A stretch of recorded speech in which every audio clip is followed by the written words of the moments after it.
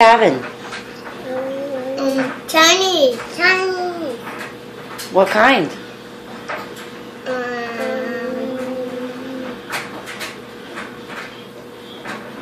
I don't know.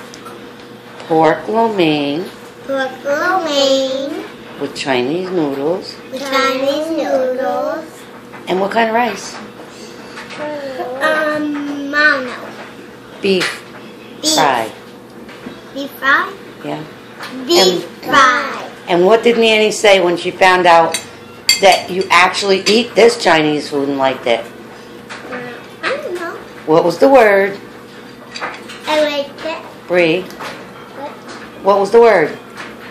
Um, Chinese. Hallelujah. Hallelujah. Say it, Bree. That's right. Finally, we found something that you liked. And what are you going to have for dessert after this? Cake. Cake. What kind of cake? Um, chocolate. Chocolate.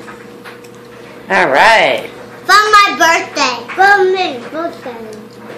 And, and it was my birthday yesterday. Well, it was your birthday the other day. We had cake last night for your birthday. All right. Well, say goodbye to everybody. Bye-bye. See you later. See you later.